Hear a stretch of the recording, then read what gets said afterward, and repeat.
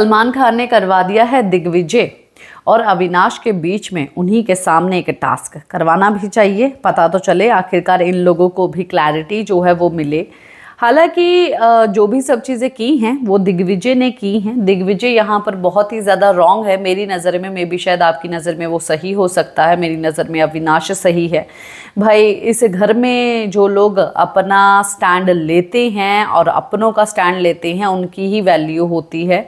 और यहाँ पर भी रिव्यू करने वाली मैं हूँ और मैं भी एकदम डंके की चोट पे जिसका स्टैंड लेना होता है, उसका स्टैंड लेती हूँ। चाहे कोई गलत है, चाहे सही है, मुझे जो लगता है मैं उसके बारे में आप लोगों को बताती हूँ। आप लोगों को पता ही है, इतने सालों से जो है आप लोग मुझे रिव्यू करते हुए देख रहे हैं। चंद लोगों को तो पता होगा, हालाँकि हर साल कोई नए नए लोग आते रहते हैं।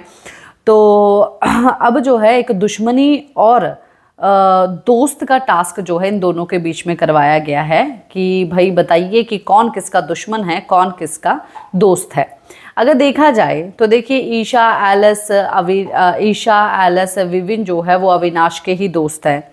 और जो रज्जो है वो दिग्विजय का और जो श्रुति का है वो दिग्विजय का, बग्गा जो है वो अविनाश का, इस तरीके से जो है वो दोस्त बनते हुए दिखाई देंगे। पर कुछ लोग मुझे ऐसा लगता है कि यहाँ पर इसे टास्क में भी कंफ्यूज होंगे, क्योंकि इवन शिल्पा भी कंफ्यूज होगी कि भाई ना तो मैं मैं दोस्त तो दोस्त भी किसी को नहीं मानती हूँ, अपना दुश्मन भी किसी को नहीं मानती हूँ, मैं क्या करूँ? पर टास्क तो करना पड़ेगा। हालाँकि क्या आप लोग पूरी लिस्ट बना के मुझे बता सकते हैं कि कौन किसका दोस्त है, कौन किसका दुश्मन है दिग्विजय और अविनाश का कमेंट बॉक्स में लिस्ट बना के बताइए ज़रूर। तो उसी के साथ एक और अपडेट हाथ लग रही है कि ईशा की मम्मी जो है, वो आने वाली है एज अ गेस्ट के तौर पे। और तो और रिपोर्टर संदीप सिकंदर, वो भी आने वाले हैं। और यहाँ पर वीकेंड के वार पे काफ़ी सारे कंटेस्टेंट के बारे में तो बात होगी, पर ज़्यादातर बात जो है, ईशा, एलिस, विवियन, अविनाश के बारे में होने वाली है। उनकी ग्रुप और उनकी फ्रेंडशिप को लेके होने वाली है और काफ़ी ज़्यादा सपोर्ट जो है वो दिखाने वाले हैं।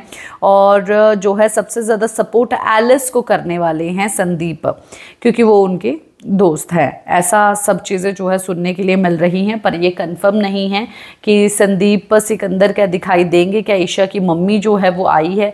बोला जा रहा है कि ये लोग सेट पे आए हैं और ऐसी चीज़ें हो रही हैं, पर कंफर्मेशन अभी तक कुछ नहीं है। इसी के साथ मैं लेती हूँ इजाज़त, नमस्कार।